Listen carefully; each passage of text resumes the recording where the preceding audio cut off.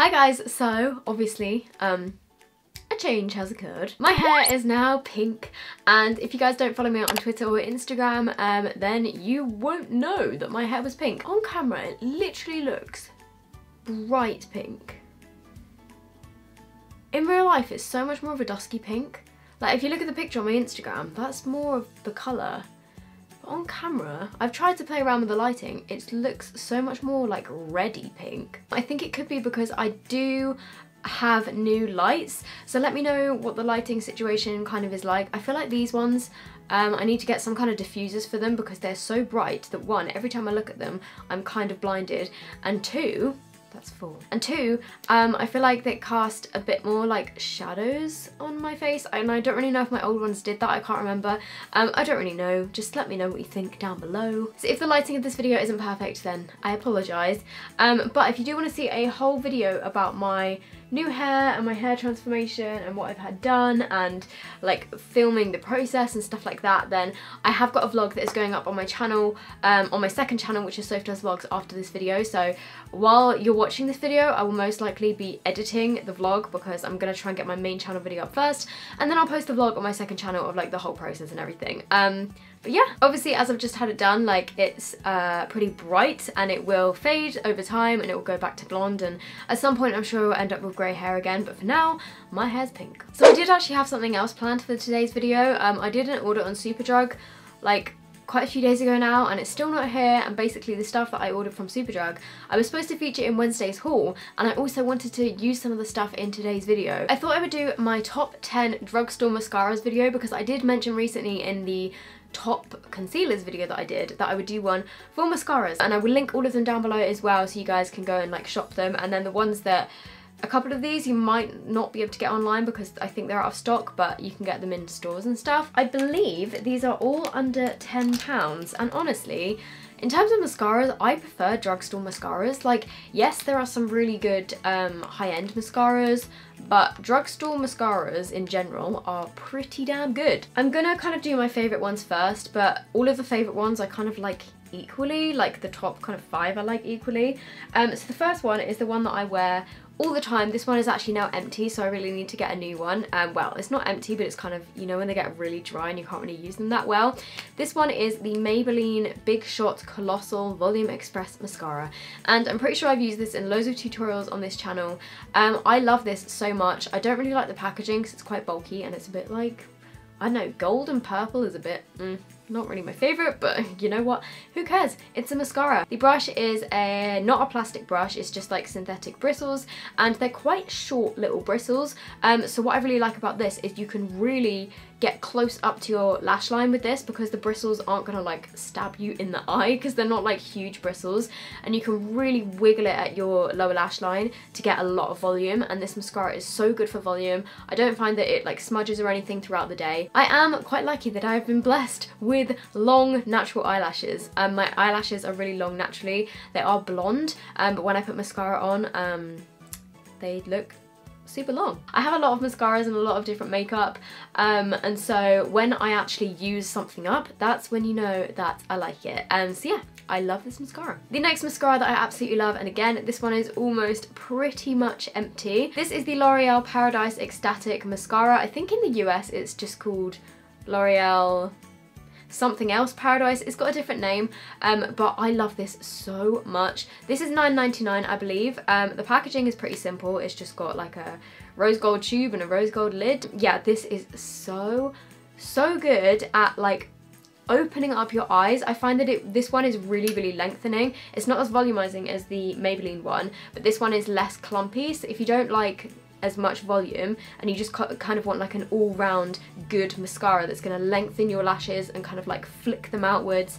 Um, I do have a whole video review on this so if you want to see what it looks like on my lashes then check that out um, but it's so good and the brush of this I think is supposed to be a dupe of the Too Faced Better Than Sex mascara. Again this one is like natural kind of bristle brushes it's not a plastic one. I just find that the bristle brushes kind of grip more to my lashes so I can get more volume. Also if you're wondering how I apply my mascara and how I get my lashes so like big. then I do have a video on like how I apply my mascara and like my tips and tricks and stuff to get like fat lashes because that is what I like. Number three is another mascara which yet again I have pretty much used up. This was my favourite for the longest time. It's still one of my favourite mascaras of all time. This is the L'Oreal Miss Baby Roll Mascara. I don't think you can get this in the US. I've just realised there's a mascara that I haven't mentioned in this video. A mascara from the US that I love is the CoverGirl Total Tease Mascara. That mascara is so good. But anyway, this one is by L'Oreal. It's got such a unique brush. It's kind of like a spiral. And the bristles on this are really, really short. Um, and it's like in a spiral thing. And this one is actually plastic bristles, which um, I know that I said I preferred the other ones, but somehow this mascara just works so well. It really grips your lashes. It's really like separating, lengthening.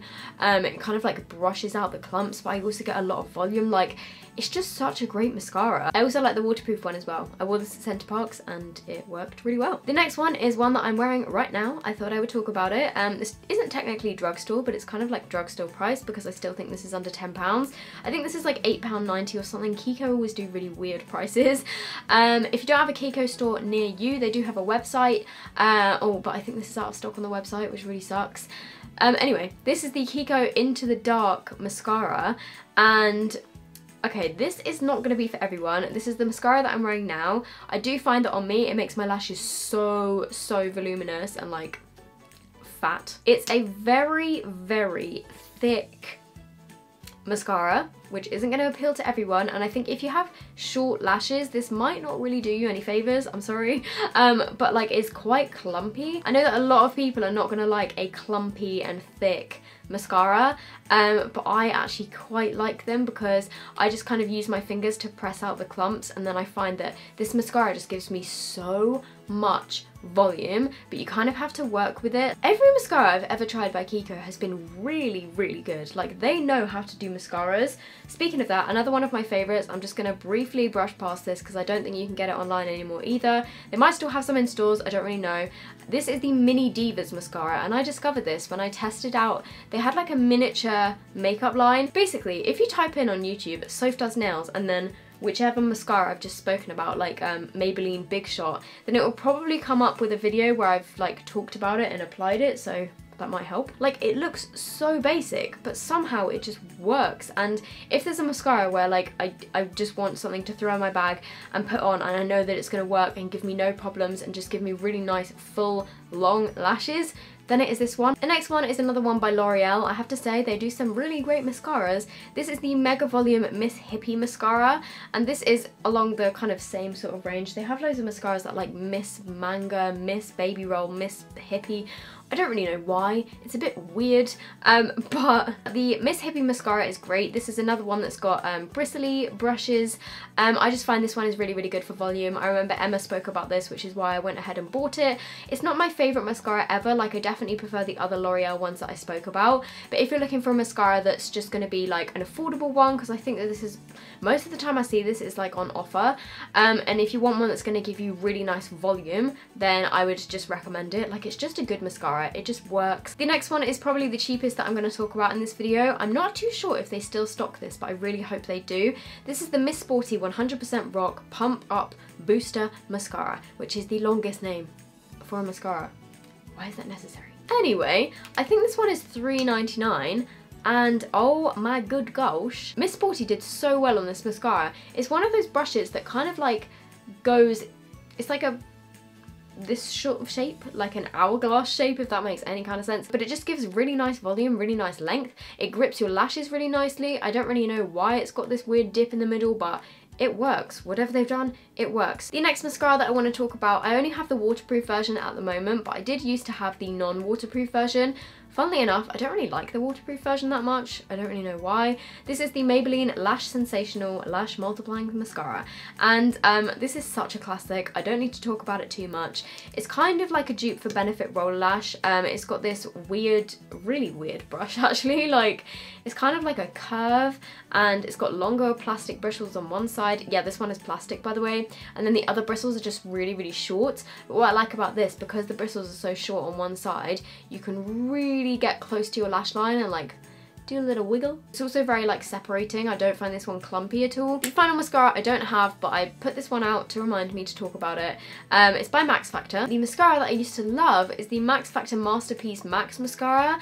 That has also got like plastic bristles, but they're quite short. And I just found that one again, like if I was looking for a mascara that I just knew would make my lashes look so long and just like separated and not clumpy, then I would always go for my Max Factor Masterpiece Max. But I have um, run out of it and I haven't actually repurchased it just because I have so many other mascaras to like get through and use up. Um, but yeah, if you're looking for one that um, it's probably better like if you aren't that big on volume but you want something that's still gonna like make your lashes look really long and your eyes look really like wide open. How many times have I done this in this video? Just in case you wanted a little close-up of my lashes today, this is what they're looking like.